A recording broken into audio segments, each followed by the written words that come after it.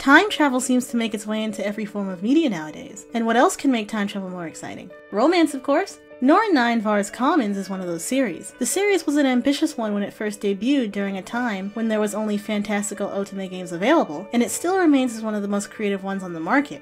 However, as you all should probably know by now, it happens to have a lackluster anime adaptation. Surprisingly enough, that's probably perfect, as the game, in my opinion, mind you, isn't that great in the first place. Now, I'm sure not a lot of people even know what this is, so let's dive a bit deeper, shall we? Norn 9 Vars Commons begins when elementary schooler Sorata Suzuhara hears a strange song during a field trip to a laboratory. And this kid is a smartass who happens to also be extremely smart for some reason, but no one really remembers him because this ain't about him. It's about all the hot boys and science. Sorata is from the Heisei era and sent all the way back to the Taisho era, specifically the year 1919. He then bumps into a young girl and learns about a big ass flying ship called the Norn, which is home to a group of three girls and eight boys who are dubbed the Gifted. Sorata wants to return home, of course, because, like, what, what is he? 11? 10? 9? Wait, wait a minute. Let me check my notes here. Okay, so he's 12. He's 12 years old. Okay, 12. The show does 12, okay, whatever. His age doesn't matter until the end anyway. But he ends up finding out some huge secret about space time travel and a whole bunch of other stuff that doesn't really matter until we switch to the real main character so we can start the actual plot. That's sci fi for you, long winded as hell. Norn 9, otherwise known as Noru no Netto in Japanese, was originally a PSP Otome game developed and published by Idea Factory on May 30th, 2013. A PS Vita version debuted in Japan on December 11th, 2014. The game was then localized for North America a year later, renamed Norn 9 Vars Commons, and released on the PS Vita on November 3rd, 2015. The anime adaptation began airing on January 7, 2016, as part of the winter 2016 anime season. While the localization for the game is still one of the worst offenses in Otome game translation history, I mean, come on, what? A Doge meme? What, what, what is that?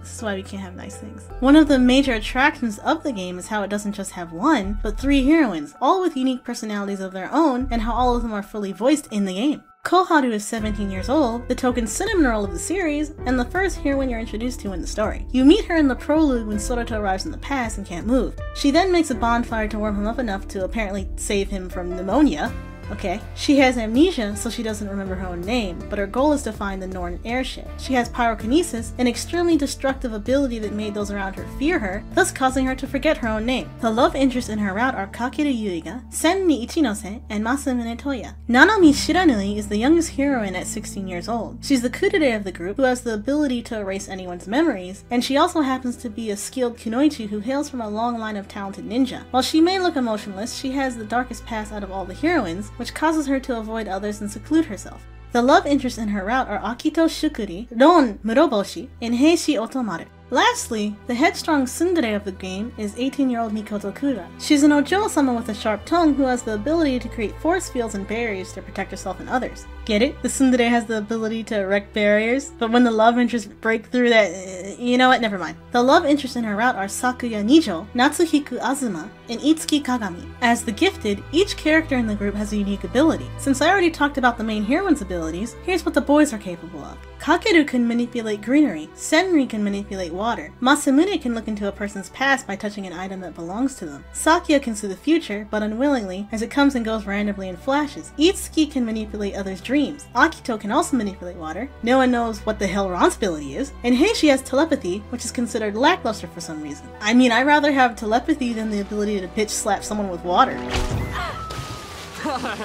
What's so funny? Okay, maybe not. Along with the heroines, they're all a bunch of teenagers, plus one kid, who are made together on the Norn ship to head to some foreign, faraway land. If you've played the game, then the first thing you'll notice is how the anime changes the introduction to the series. In the game, Sorata is the first character you're introduced to. In the anime, however, Koharu takes that role, and Sorata doesn't even appear until the second episode. And it isn't until the third episode that it adapts the prologue of the game. The first episode sets up the romance between Koharu and Kakeru immediately. Wandering around searching for the elusive Norn ship, she slips on some snow and falls into his arms. After that, she ends up almost dying by falling into a lake, but he saves her with his greenery manipulation. In that same episode, when they begin picking peaches for some random ass reason, she climbs up the top of a tree to pick one.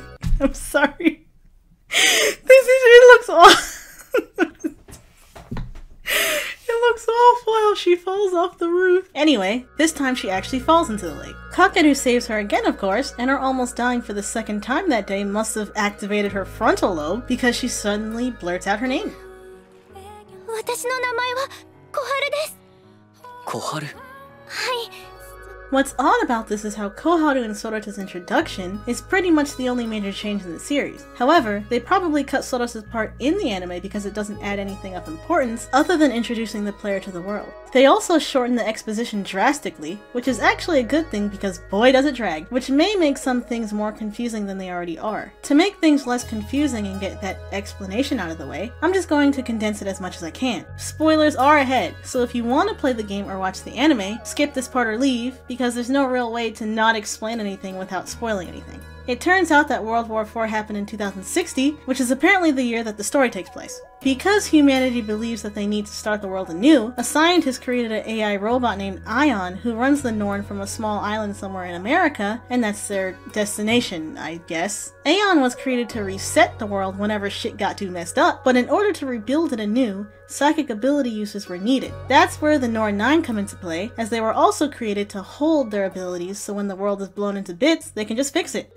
Kakeru's greenery to remake nature, Nanami's memory manipulation to erase everyone's memories, Koharu's pyrokinesis to cleanse everything with fire, you get the drift. However, the World War IV reset failed because some crazy ass man wants to revive his dead wife that's supposedly inside of Koharu, and apparently he loves guns and war and whatever, so he's getting in the way of the reset from happening. Trying to retain all of this information while playing through 9 routes is tough enough in the game, so it's even worse when replicated and condensed into 12 episodes, and one special. And one of the most complained about details about the series is how it suffers from too many character syndrome. Just like when I spoke about Amnesia, the characters suffer from lack of character development development. But compared to that, Norn 9 Vars Common suffers way more when trying to break down each route. Now, the anime takes a slightly smart approach in giving every heroine her own main guy and pushing every other guy into the background as supporting characters, but that still doesn't make it any better. Here's how they split things up. After the ship is attacked and their suspicions arise of there being a traitor on board, Kakeru tells the group that they should have a partner system. In the game, you can pick which heroine you want to pick as well as which character route you want to begin. Of course, Kakeru automatically pairs up with Koharu because he's the route they're adapting in the anime. He also acts as one of the poster boys, so it's not that surprising. His character hasn't changed all that much between the anime and the game, and he receives the most character development amongst the other contenders in Koharu's route. Natsuhiko, aka Best Boy, wants to stop the reset and the crazed pedo antagonist from committing mass murder, so he's both a protagonist and an antagonist depending on the route. Because of his popularity and plot relevance, they adapt Natsuhiko's route in the anime, making Mikoto and him the official anime couple. This does seem a bit NTR-ish because Mikoto pairs up with Saki in the anime, and then falls in love with Natsuhiko after he kidnaps her and, you know, all that. Like, they're wearing matching hair ties and everything,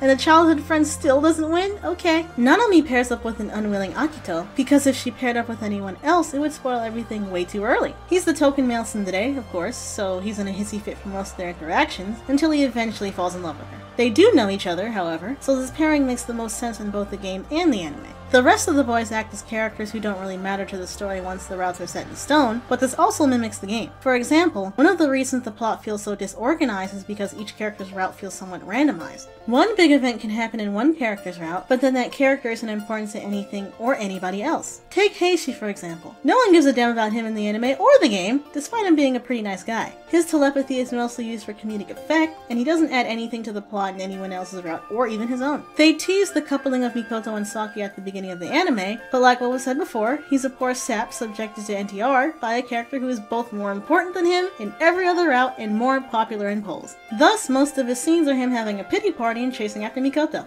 Well, I mean, that's not much different from the actual game, but still. Even Ron is more important than those two, because he's the actual traitor aboard the ship. His route is locked for a good measure of the game, and he doesn't really do anything as to not arouse suspicion. I mean, he's still creepy towards Nanami, which is part of his appeal, apparently, but he serves a purpose for the main plot of every single route. Itsuki is important because he has a scene in both the game and the anime where he manipulates the characters' dreams to send them into a world where they all act as storybook heroines in episode 5. That's that's pretty much it. Uh, his ability is cool, but they don't really do much with it or him. In the game, this gives the player a fan service CG of the boy of their choice. Masamune acts as a foil of sorts to Kakeru, and a big brother figure to Koharu, so he's out of the running as soon as the anime begins, while Senri is only important in Koharu's route because he's a shut-in who only opens up to others by the power of love. All in all, the anime adaptation actually happens to be a pretty good adaptation, but of a very messy game. Norn 9 Vars Commons has an over-exposition and info dumping problem in both iterations, which makes comparing it very nitpicky. The only major differences between the series is how the already rushed explanations are rushed even more, and how Sudoku doesn't really matter. I mean, he barely mattered in the game, so that's pretty on point, I guess. The problem this time around isn't the unfaithfulness or even changing too many things. It's just that no matter how they adapt it, it's still going to end up being confusing. You can say that's sci-fi being sci-fi and everything about it is confusing as hell, but Steins Gate exists, so save your breath. In an odd way, the Norn 9 Vars Commons anime adaptation doesn't bring shame upon the game, but how much shame can you bring upon it when it's just not that good in the first place? Once again, this is all my opinion.